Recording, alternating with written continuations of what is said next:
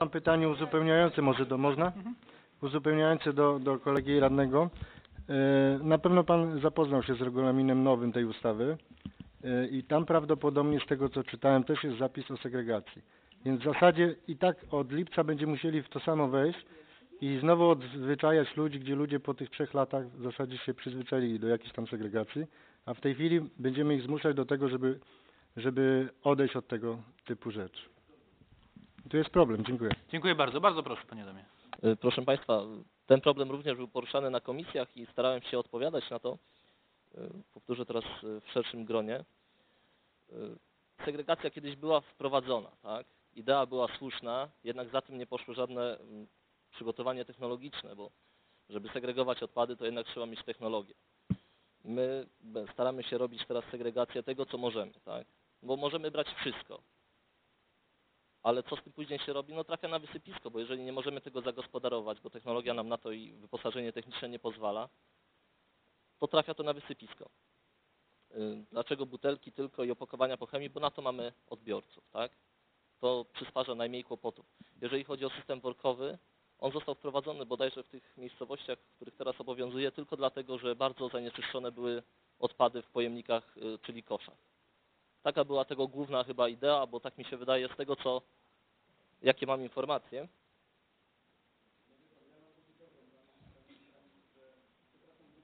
bo pan przewodniczący pozwoli.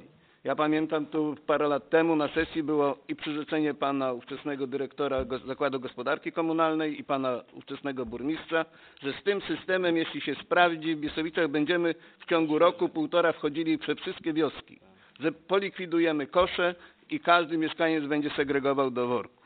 Więc tutaj obraża pan wszystkich mieszkańców Biesowic, bo wychodzi na to, że tylko Biesowice y, do, wrzucają Ja już wymieniam, wymieniam miejscowości, w których jest prowadzona y, system metodą workową. To jest Barcino, Bronowie, Korzybie, Biesowice, Pustowo, Płocko, Przytocko. Więc nie tylko Biesowice.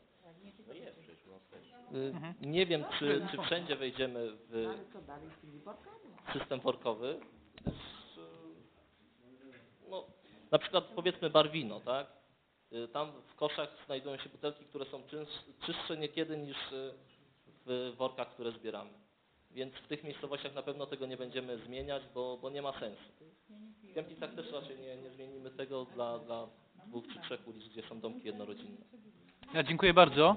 E, Chciałem tylko powiedzieć ze swojej strony, że ta dyskusja, przepraszam bardzo, że ta dyskusja oraz te zmiany w prawie, które mają nastąpić, no ona skłania tylko do tego, żeby zorganizować osobne spotkanie tylko i wyłącznie poświęcone właśnie sprawie utrzymania tutaj porządku i czystości w gminie. A dzisiaj skoncentrujmy się na tej uchwale, którą mamy podjąć.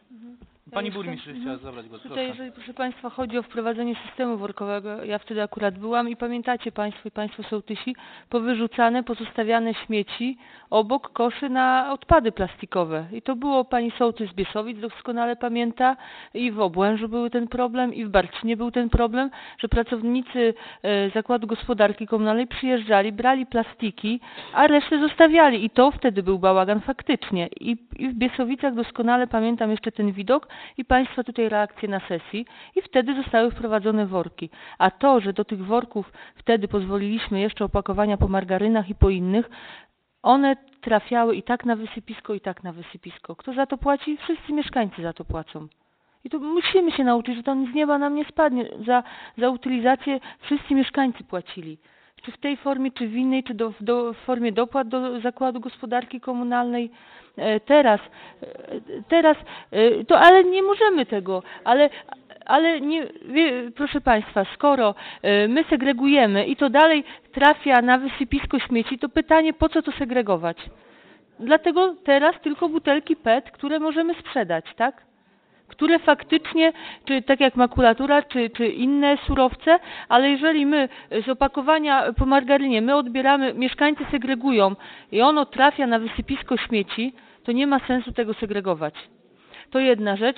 Po co, po co teraz e, ten regulamin, po co ta zmiana? My chcemy oszacować, jest prosta rzecz, chcemy oszacować, ile tych śmieci faktycznie mieszkańcy naszej gminy produkują.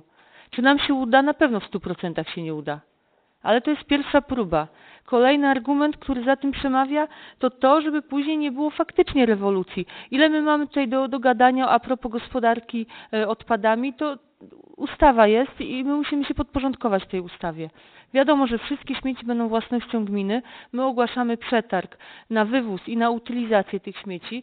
Y, Tutaj najbliżej jesteśmy przypisani do, do Bierkowa i tam, bo to już nie od nas zależy, gdzie będziemy wozić i będziemy musieli wozić do Bierkowa zgodnie z wojewódzkimi planami. Y, Tutaj plan odpadami będzie przyjęty y, czerwiec-lipiec. Akurat województwo pomorskie tutaj w tym zakresie jest jako jedno z pierwszych. Jeżeli chodzi o zadania radnych, to, to trzeba będzie się zastanowić, bo my będziemy musieli ustalić, ile taka opłata za śmieci będzie wynosiła i wtedy do, do PGK pytanie, a ile my śmieci produkujemy, tak? A jakie to są śmieci? My musimy mieć te dane.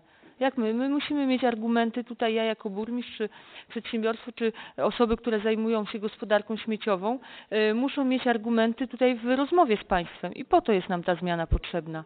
A tutaj mówię, bez sensu segregować śmieci, które i tak trafiają na wysypisko i do jednego kosza. Dziękuję bardzo pani burmistrz. Czy są pytania w zakresie jeszcze tej uchwały?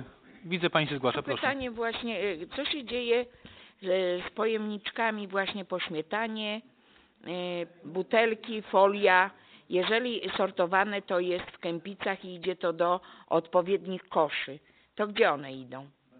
One trafiają na wysypisko i tu wszędzie trafiają, czy to z Kępic, czy, czy z innych No miejscowości. to nie mamy się co obrażać na Mhm. y, wioski, bo to tak samo jest i z Kępic, czyli Mhm. i, i uważam, że Na pewno, na pewno kosze to na plastiki by zostały w, Podgó- y, w Biesowicach i w Korzybiu i wszędzie indziej, jeżeli by mieszkańcy nie wrzucali tam pampersów czy innych odpadów. Naprawdę. I to była akcja, pojemniki y, załatwić na wsiach i mieć święty spokój, a nie jakieś worki wymyślać. Dziękuję bardzo. Szanowni Państwo, ale bardzo proszę, bardzo proszę o uwagę. Kto chce się zgłosić do wypowiedzi? Pan radny Minczak. I prosiłbym, żebyśmy, na scenie pan radny Trzebiatowski, Panie po, panu ja mam takie pytanie, bo docelowo już w lipcu 2013 będzie obowiązywać ustawa i wówczas, jeżeli będziemy wywozić śmieci do Bierkowa, to rozumiem, że będzie tendencja do segregacji, czyli bę- musi być. No więc wracamy znowu do tego problemu. I co wtedy mm, mieszkańcy będą rozgoryczeni, którzy zakupili ten kosz na rok? No bo jeżeli, no nie wiem jaki będzie system, czy będzie dwóch koszy, czy, czy dwóch, czy trzech worków, ale w każdym razie na pewno segregacja jest nieunikniona, bo taka jest tendencja ogólnie unijna. I tutaj, tutaj proszę Państwa ustawa nam jednoznacznie narzuca i z jednej strony e, własnością e, właścicielem śmieci jest gmina, a z drugiej strony ograniczenia. E, Co, co rok to my musimy mniej śmieci produkować. I musimy więcej segregować. I, i to, to na, ale musimy segregować papier, te odpady, które można wykorzystać. Przepraszam bardzo, czy pani radna się zgłasza do wypowiedzi?